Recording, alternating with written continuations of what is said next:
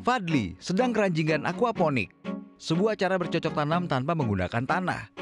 Di lahan samping rumahnya seluas 130 meter, vokalis grup band padi tersebut bisa menanam apa saja, dari tomat, sayur mayur hingga pepaya.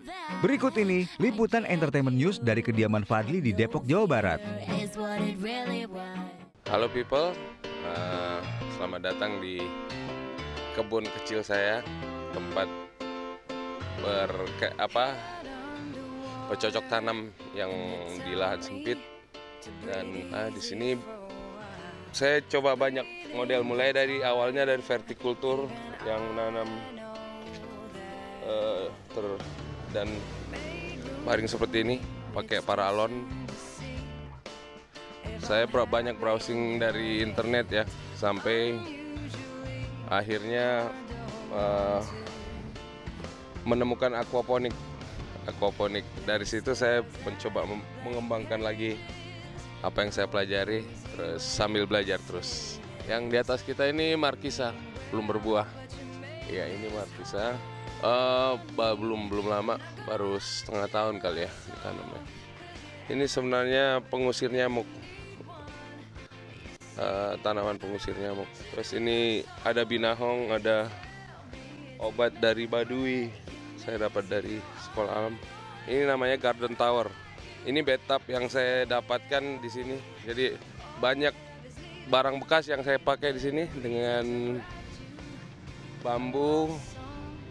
Jadi lebih lebih mencoba menggunakan apa recycling semua menggunakan barang-barang yang bekas tapi tetap kuat. Jadi kita menanam tanpa tanah di dalam batu ini. Medianya batu dan air.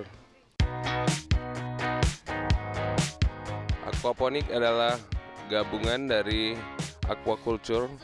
Aquaculture adalah pemeliharaan ikan dengan menggunakan air yang resirkulasi, air yang sama yang dibersihkan.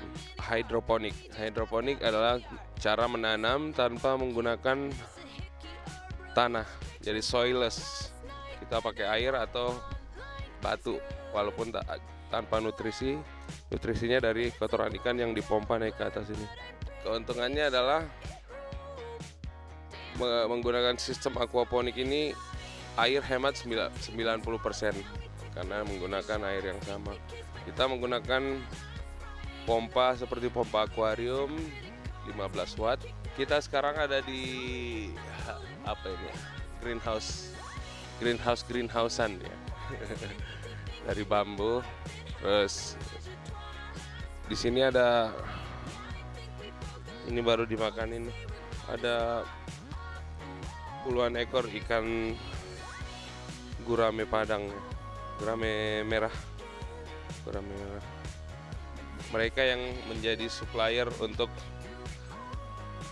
grow bed ini tempat tempat tumbuhnya. Sekarang saya banyak menanam tomat dan ini tomatnya udah mulai sudah bisa dipanen ini melon saya baru tanam Sistemnya sederhana, jadi air yang sama yang akan mengairi semua ini. Air dipompa ke grow bed yang tomat ini. Terus dia turun flush ke sini. Clarifying terus di sini biofil biofiltration ya. Ini buat menahan kotoran-kotoran yang datang dari sini dan kolam ikan. Jadi sini tetap bersih karena ini modelnya hidroponik craft ya. Eh, rakit. Di sini saya baru panen eh, kangkung kemarin. Banyak sekitar 25 ya 30 tanaman kangkung terus akhirnya kembali lagi dari sini kembali ke situ lewat